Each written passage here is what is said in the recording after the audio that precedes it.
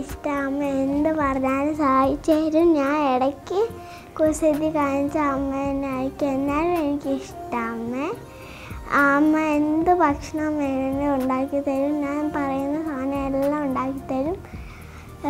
പിന്നെ water bottle മേടിച്ചാൽ ഞാൻ പറഞ്ഞാൽ മേടിച്ച് തരും.